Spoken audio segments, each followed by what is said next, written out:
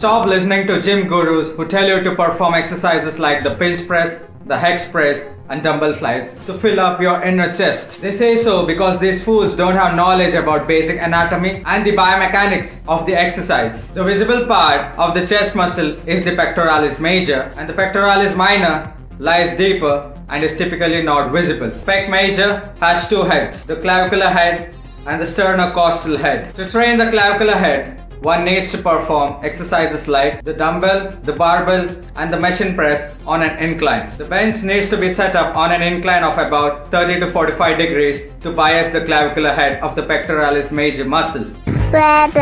to train the sternocostal head, Incorporate exercises like the flat bench press, the flat dumbbell press, the flat machine press, bodyweight dips, high to low cable flies. The pinch press and the hex press indulges more of the tricep and the anterior deltoid muscle rather than biasing the chest muscle.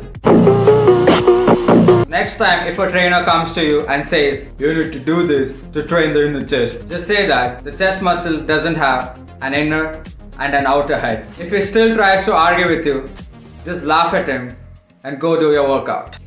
I was literally shocked when one of the gym gurus came to me and told that steroids are safe if done in low doses. In return, I asked him to explain about his post-cycle therapy. The guy had no idea what a post-cycle therapy was. So in any field, it's crucial to acquire both in-depth practical as well as theoretical knowledge.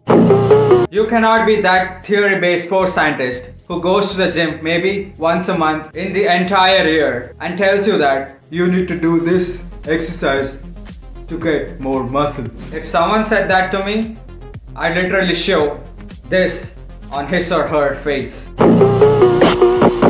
I've done that to my friends too, who literally used to smoke, booze, roll, vape, and never went to gym and told me that, bro, you need to bench more. My honest response to all those people were, go F yourself.